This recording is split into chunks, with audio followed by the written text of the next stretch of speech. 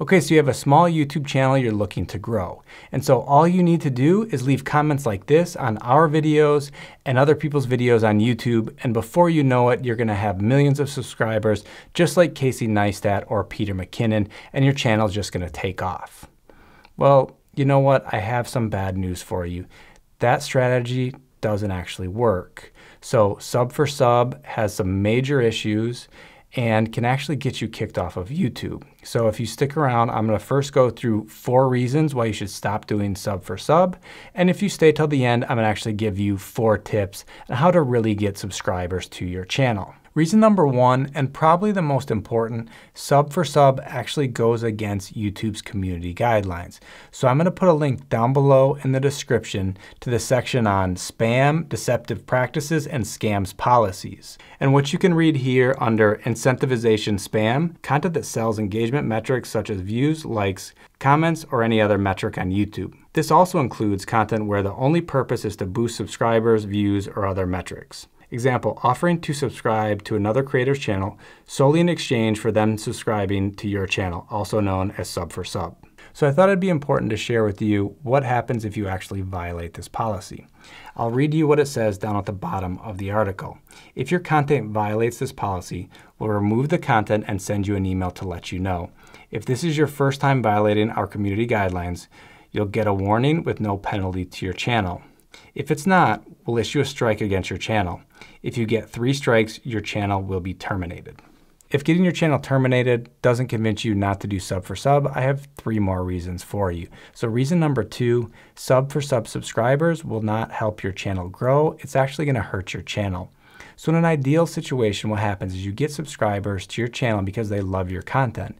You put out a new video, they're notified, they watch that video, they leave a comment, they interact with it, and then YouTube says, hey, this must be a good video, their subscribers are interacting with it, I should find more people like them to show the video to. What happens with sub for sub though is the person that subscribed to your channel doesn't care at all about your content, they just want you to subscribe to their channel. And so the issue here is they're not going to consume your future content. So you have these subscribers that are going to get notified of your future content and they're not going to engage with it. This is a really bad signal. If your own subscribers don't like your content, YouTube just thinks no one's going to like your content. So YouTube is not going to show your videos to other people on the platform because your subscribers don't even like it. So sub for sub is not a great way to get subscribers. They're not the type of subscribers you want on your channel. Reason number three, there's better use of your time. So I haven't done sub for sub, but I imagine maybe you can leave 100 comments an hour. And how many people actually subscribe to your channel after seeing those comments? One, two, it can't be all that many. And so an example I want to give you is this video. So this video on our channel has an awful thumbnail, but you know what? It's creating valuable content that actually help people solve an issue that they had. This video has over 300,000 views and has actually gotten us over 3,000 subscribers. The video only took a couple hours to make and a couple hours to edit, and so with those couple of hours getting 3,000 subscribers versus the time it would actually take to do sub for sub, you're better off creating good content that people are going to like than wasting your time leaving worthless comments on other people's videos. Reason number four, you don't actually need subscribers to get views on your videos. So if you saw our YouTube SEO video, I'll link to that up above right here, you would have seen that we get around half of our views from YouTube search. So those aren't subscribers. They aren't people that knew us before. They're just looking for answers to questions they have, and they click on a video that looks good to them. So if you're creating content like this, you can get views to your videos, and they don't need to be subscribed to your channel. Actually, if you look at the lifetime of all the views on this channel, only 2% or less than 2% of the watch time came from our subscribers. If you look at our larger channel, the one in Spanish, the Figco en Español, we have 170,000 subs and around 7 million views.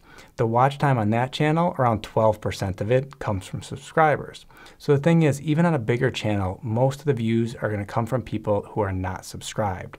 So if you're creating great content, people can find it on YouTube and you don't need to worry about your subscribers as much as you are right now. So as you just saw, we went over four reasons why you shouldn't be doing sub for sub. It's not gonna help you grow your channel like maybe you thought previously, and you could actually get your account deleted.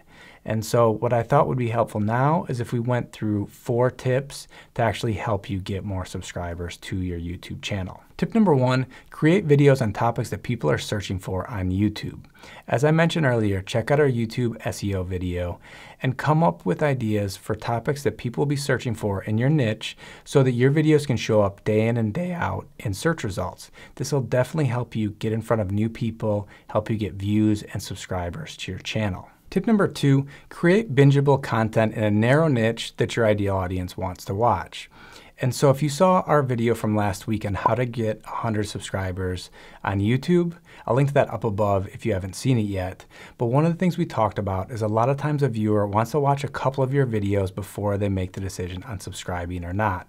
And so if you create videos just all over the place on different topics, they might not find more than one video that they want to watch, which means they're probably not going to subscribe. But if you create a bunch of videos on one topic, people watch one after another, they'll probably want to subscribe to your channel so they, so they can be notified of the future videos on that topic that you create. An example of this would be our channel. Right now we're putting out around 20 videos about how to grow on YouTube. So we're thinking of all the questions someone may have about creating content for YouTube. The thumbnail, getting subscribers, monetizing the channel, creating channel art, amongst others.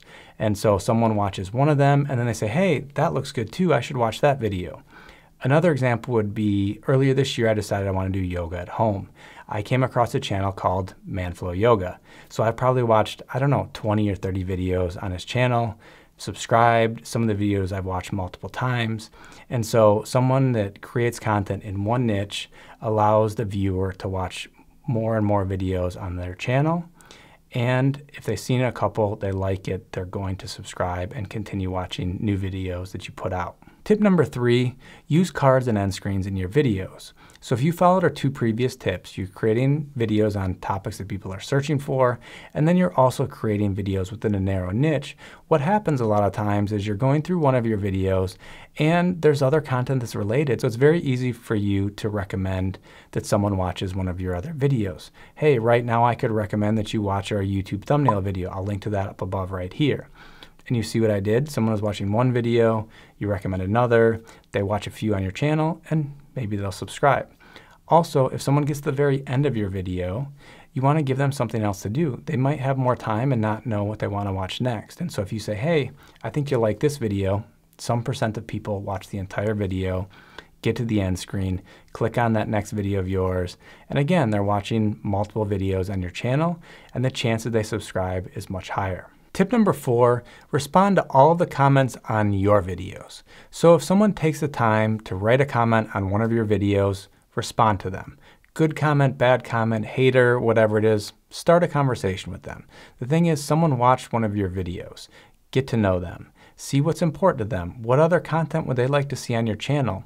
We always ask people that when they leave comments on our videos. If they say, hey, you know, great video or I like this, you know, ask them, hey, are there other videos you'd like to see on our channel? How can I be helpful to you? So this does a couple of things. One is a lot of people they subscribe to on YouTube probably don't do this. And so they feel like they started a relationship. They're getting to know you. You actually respond to them. They want to help you out and see your future content, so they're very likely to subscribe. The other thing is here is if people see in the comment section that you actually respond back, other people are more likely to leave comments, which again helps the YouTube algorithm and helps your channel grow. The other thing is having a conversation with someone also is going to help out when you put out future content. They're probably going to watch your future videos. They're probably going to leave comments on your future videos, which are also helping you push your future content. As we mentioned earlier, that's the ideal situation. If you have active subscribers who watch all of your content, interact with it, YouTube will find more people like them to show your videos to and your channel will take off. Before I forget, I want to let you know that we just created a YouTube masterclass. So this is an hour-long training to help you grow your YouTube channel. If you're interested, sign up in the description below. So if you want more tips on how to get subscribers for your YouTube channel, check out this video up above right here. Also, if you want to learn how to show up in YouTube and Google search results, check out our YouTube SEO video down below. Until next time, bye-bye.